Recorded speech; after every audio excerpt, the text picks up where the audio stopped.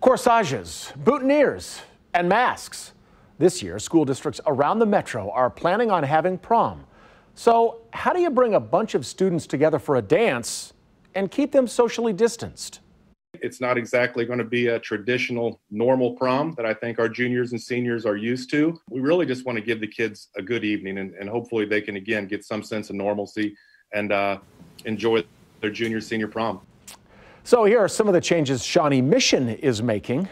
Three of their proms will be held outside. The other two will be inside Union Station so that there's plenty of room to spread out. Arrival times will be staggered so that not everyone is dancing or gathering at once.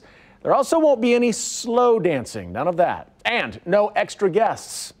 Now, you have to be a junior or a senior at the school to be allowed in, and everyone will be required to wear a mask.